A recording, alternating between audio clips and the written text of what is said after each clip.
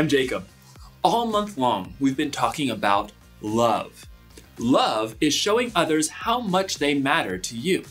But how do you show others how much they matter to you? That, my friends, is a mystery. Huh. That sounded scary. But mysteries don't have to be scary. Some of my favorite books are mysteries.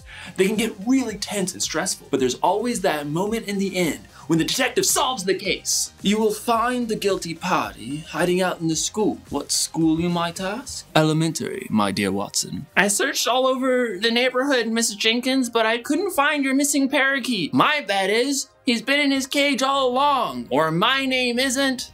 Wikipedia Jones. The item used to chase Madame Lafarge away was none other than the spatula. All that's fine for a book, but it's a little different when you have a mystery in real life. In today's story, we'll hear about Abraham and Sarah and how God told them to leave home. Where would they go?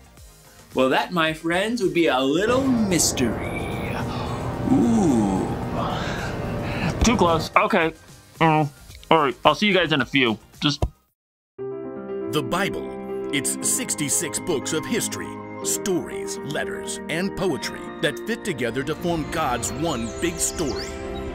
The epic adventure of how He created us and loves us so much that He made a way to rescue us. As we travel through the Bible, from Genesis to Revelation, we discover people who met God and found their lives changed forever. Now, for an amazing story. Inspired by the book of Genesis, chapters 12 and 15. When Adam and Eve turned away from God and broke the loving rule God had given them, sin had entered the world. People no longer had a perfect relationship with God or each other. I wish you weren't my brother. Their family grew. Tribes and cities began to fill the earth, but almost no one followed God. People looked out for themselves instead of each other. During this time, though, one man did walk faithfully with God Noah. Yes, God? People have filled the earth with their harmful acts. I'm going to put an end to it. God instructed Noah to build a huge boat. I'm going to bring a flood on this earth, but I'm going to make my covenant with you. God told Noah to bring his family and two of each animal aboard the boat so that they would be saved. Then rains came and washed over the earth for 40 days.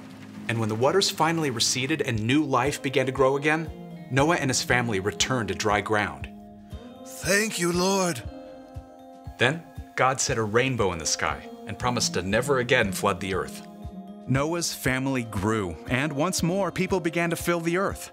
Few of them listened to God, though. They had no room for God's love in their hearts, wishing only to put themselves first. In the midst of all this, God still had a plan to show deep, deep love to people. He chose a man named Abram who lived in the land of Haran with his wife, Sarai. Abram. Who, who is it? It must have been a surprise for Abram to discover that the God of the entire universe wanted to speak with him. But Abram couldn't deny the compelling, loving voice that called him. Go from your country, your people, and your father's family. Go to the land I will show you. But I'm 75 years old. Why would I leave everything that I know? I will make you a great nation, and I will bless you. I will make your name great. You will be a blessing to others. All nations on earth will be blessed because of you. God wanted to tell a story through Abram's family so that people across all time could see God's love for them. But Abram must have been filled with questions. Sarai and I don't have children yet. We're old. Uh, how can we have a large family? What will we do in the new land? How will we live there? God gave no answers, except for God's presence, full of peace and love. All right, God. We'll go. Abram and Sarai, later called Abraham and Sarah, packed up all they had chests and boxes, platters and blankets, sheep and cattle and goats. Oh, Abram, I hope you know what you've heard. God called us. I can't tell you how, but I, I know. His voice, it was so full of love. But me have a baby. Just look at my wrinkles. So Abraham and Sarah and their whole household set out on a very long journey. They covered almost a thousand miles until they reached the land of Canaan. Here, this is it. Maybe so, but I'm still not sure about the baby part. The land opened up before them, wide and rolling. Abram found a tree in Moreh that branched overhead like a sheltering roof. God, we're here. We came all this way. What now? I will give this land to your family who comes after you. Thank you. I just needed to hear that again. Carefully, Abraham piled up stones to form an altar in honor of God.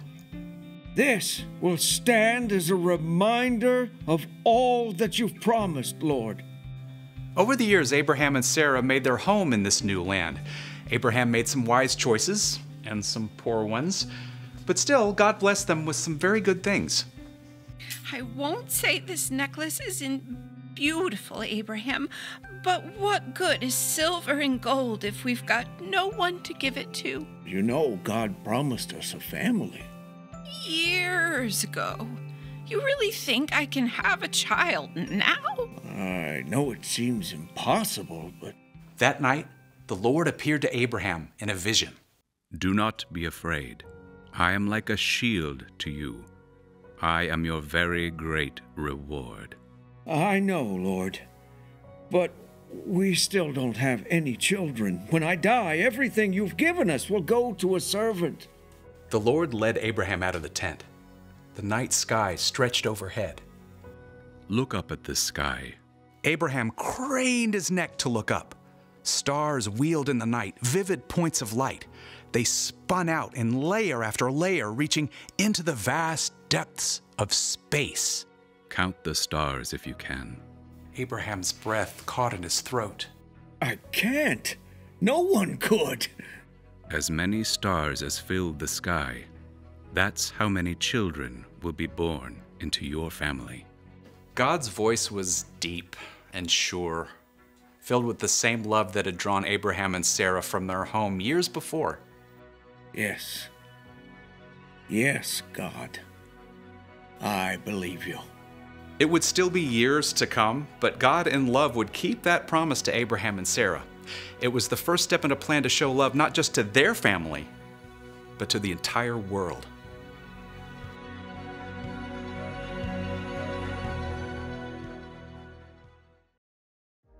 Abraham's life was full of mysteries, but he didn't let that bother him. God told Abraham to leave home, and Abraham went, even though he didn't know what God had in store. God promised Abraham the whole world would be blessed because of his family, and Abraham trusted God even though he didn't know for sure if the promise would come true. For us living today, God's promise to Abraham is no mystery. We know that it came true because thousands of years after Abraham, one of his family members was born in the town of Bethlehem. Jesus. God always had a plan to show love to the world by sending Jesus. You know what that means? It means God still has a plan to show love to the world. God has a plan to make things right. That's true no matter what's going on in your life or in the world. And you can be a part of that plan by trusting God and sharing God's love with others. You can help solve the case. If you suspect a person needs something, offer to help them. When a neighbor's in need, you can get to work. If someone is in danger, speak up and be on their side. The one thing to remember today is this God has a plan to show love to the world. It's no mystery. You can trust God no matter what. Well, that's all I have for you this month. We'll be back next month with something brand new. You want to know what it is? Shh. Sorry. It's a mystery. See you next time.